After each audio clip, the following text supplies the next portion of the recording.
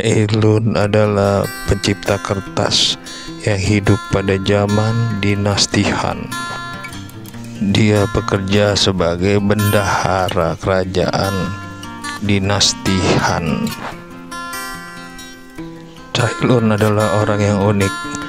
Dia adalah orang yang pendiam, agak sedikit pemarah, dan tidak mau mengambil tanggung jawab jika itu merugikannya. Cailun sangat gemar membaca. Sebab itulah dia diangkat menjadi Kasim pengadilan juga.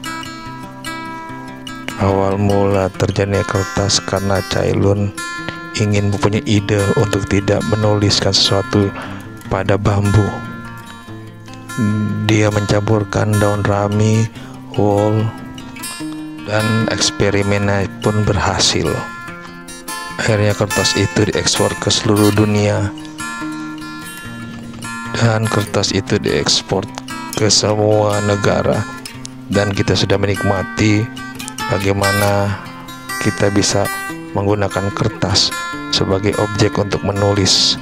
Terima kasih kawan-kawan. Tolong di subscribe ya. Terima kasih